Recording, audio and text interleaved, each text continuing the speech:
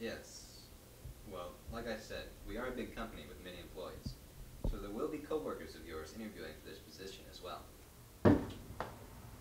You listen here, Hudson. I'm tired of putting up with all your shit at work.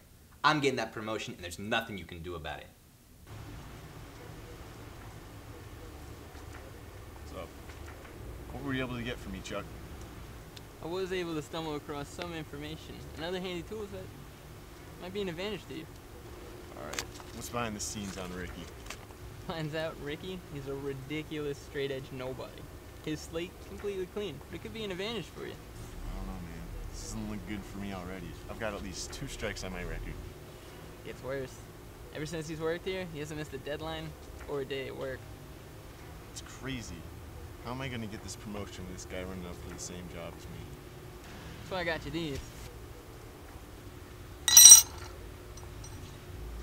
Chuck, slide boots you.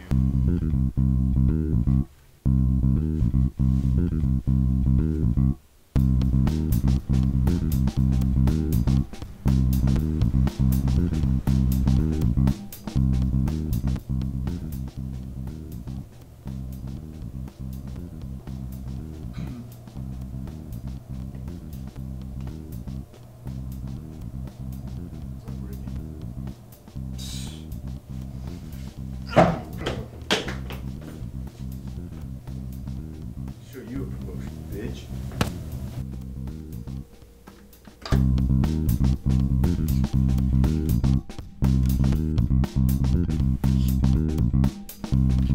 Well, your future here at Lexicon Industries is looking very good. Thank you, sir. I'm very excited to be a part of Team Lexicon.